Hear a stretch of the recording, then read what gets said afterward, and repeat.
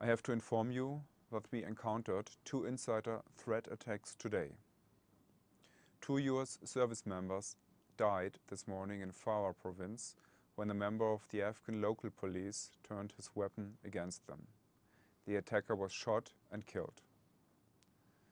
The second attack occurred in Kandahar province this afternoon when a member of the Afghan National Security Forces shot at ISAF and Afghan service members causing two ISAF and one Afghan soldier being wounded.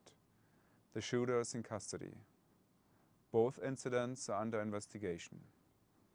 ISAF takes every incident very seriously.